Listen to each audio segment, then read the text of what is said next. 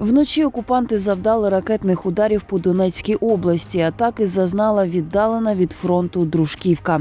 Як повідомляє голова УВА, зруйнована будівля льодової арени, де була розташована найбільша школа хокею в Україні. Пошкоджено житлові будинки та цивільну інфраструктуру. Одна людина поранена. Атакували і Краматорськ. Як пише голова УВА, снаряд влучив у подвір'я приватного будинку. Відомо про одну поранену людину. Ще один удар потрапив в ефір французького телеканалу.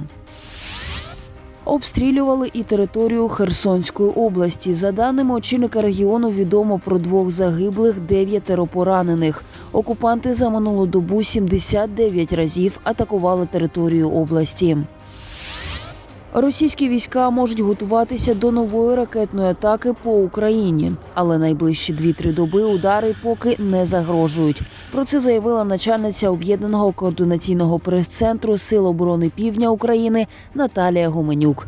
За її словами, шторм в Чорному морі триває. А це говорить про те, що ворогу важко отримувати велике корабельне угрупування. Тому зараз там 5 одиниць. Але при цьому військові попередили українців про небезпеку атаки шахедами у нічний час. До мінус 15 градусів синоптики прогнозують сильні морози в Україні вже з 7-9 січня.